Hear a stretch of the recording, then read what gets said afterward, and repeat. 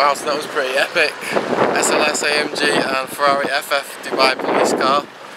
Don't know what's going on here, but there's a helicopter right up there. And these cars are flying down here.